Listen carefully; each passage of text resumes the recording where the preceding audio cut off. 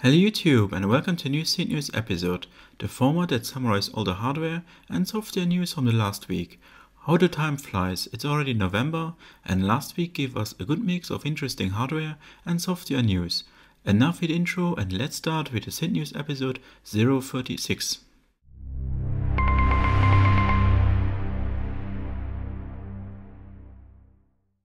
Let's start with MFB, the Berlin-based synthesizer company that has aroused the interest of most readers on my website with its news.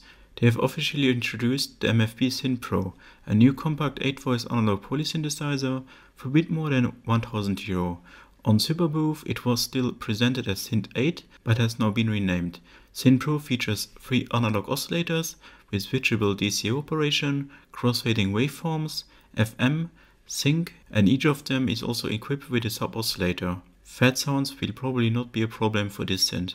Further, it has two analog filters per voice, two analog VCAs, two LFOs, and three loopable envelope generators, where two are ADSRs and one ADS. Next, it has a dedicated chip with different effects, including reverb, echo, chorus, and more, a built-in arpeggiator, sequencer, and the possibility to save patches.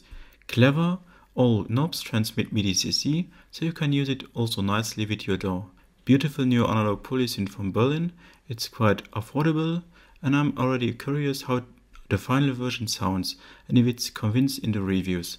So stay tuned. Exactly a year ago, Atomosynth from Peru showed us the Asterion, a 5U semi-modular synthesizer that unfortunately was not a success on Indiegogo. Last week he showed with Perceptron a new semi-modular analog synthesizer that is slightly smaller and more compact. Perceptron offers just one VCO with two waveforms, PVM and a square wave sub-oscillator. The raw oscillator sound is then processed by a VCF, not known which kind of filter, and refined with a delay effect processor. On the modulation side it offers two envelopes, one loopable AR, and a classic ADSR as well as an LFO with two waveforms.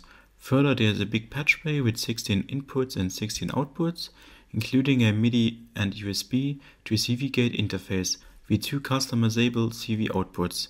A nice synth, but I think it will have a hard time on the market, especially in times where there is a Behringer crave for 150 euro. However, good luck Alfredo, your synths were always great and don't forget to support small developers. They make awesome products. Also small is Noise Engineering, a Eurorack manufacturer from USA. With the new Pura Ruina or Pure Destruction, they show their last distortion module from a series of monthly new modules. Pura Ruina is a three-stage full-wave rectification, or easy say a multiband waveshaper distortion module. It has a dry stage plus three independent stages for rectification outputs where the levels are CV controllable. The module is very useful if you want to receive new deep harmonic content from very simple waveforms, like a sine wave. The module is also nice if you want to make distortions without audio clipping. In short, a nice designed module that brings a lot of new timbres to your system. Continue to one of the best known Eurorack companies, Make Noise. They also showed something new last week. Not brand new, because the items are already longer on the market. The Tape and Microsound Music Machine is a new 3U Eurorack system that is designed for manipulating external audio. For this is a powerful Morphagene granular sampler on board, with which you can live sample and manipulate them in many ways. The module is supported by the QPAS stereo filter and a brand new Mimeophon effect processor that sounds like no other delay effect processor. Since the QPAS filter is in the system, everything is in stereo and shows you can process the spectrum in very details. Also a lot of modulation power is on board two new legendary Eurorack modules, the Wogglebug complex random voltage generator and the MEF dual analog CV generator. The final sound result is rooted in the XOH module that allows you to mix them in stereo. The TMM is not a simple synthesizer because it uses a sample-oriented engine rather than a classic subtractive synthesis. If you would like to manipulate your field recordings or live sampling in details and would like to do this in a West Coast oriented modular synthesizer, you should take a look at the TMM system. If the new Make Noise TMM system is too expensive for you, but you want to start with Eurorack modular synthesizers, listen now. Cre8audio is a new music tech company that makes getting into the Eurorack world cheaper.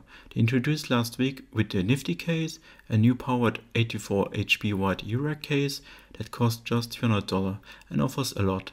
It includes a built-in PSU with 10 flying bus power connectors and a dual USB and MIDI to CV converter. For $200 the case includes everything you need to get started. A powered case as well as important connectivity options to connect to a DAW. In my opinion it would have been better if the bus board is installed in the case and not as flying bus system. The latter often cause more noise. In addition to the case, the company also presented two affordable modules for just $99. Chips is a new chiptune sound generator with two oscillators and an LFO. Cells, on the other hand, is a 12 HP wide touch sensitive controller that features 16 touch sensitive pads.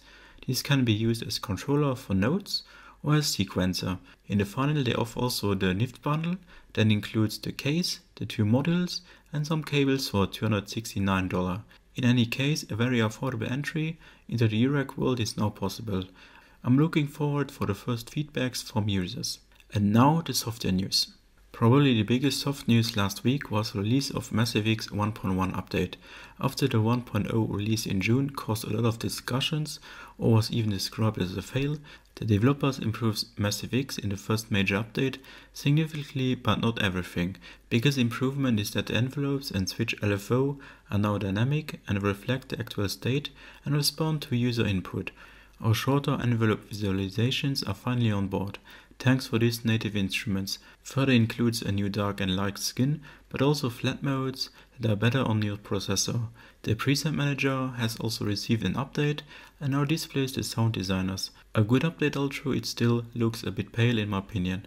A small gift, there are also 60 new presets in the factory library. In total an important update for Massive X, but there is still a lot of work for the developers. Check out my first look of the Massive X 1.1 update on the channel where you can also hear some of the new presets. Also Rapid Synthesizer of Parawave Audio has gotten an update. In version 1.7, the synthesis engine has been expanded with new oscillator features, new filter types, and new effect processors. Plus, the developers updated the interface with modern graphics and added 93 new effects presets to the factory library. Nice update for the Rapid synthesizer, but it is still somewhat more unknown compared to other synths like Serum or Massive. Also the young company 2getheraudio has something new at the start. The best known Cheeze Machine free synthesizer plugin goes pro with several new features. It includes a new expanded oscillator section with an additional sub oscillator, noise and hard sync control. Also the modulation system has been expanded with two new LFOs and two looping ADSR envelopes. Plus the developers added 5 vintage and modern effects including a convolution reverb. The sound demos are promising and for a minimum amount of $10, Cheeze Machine Pro is even very cheap to get.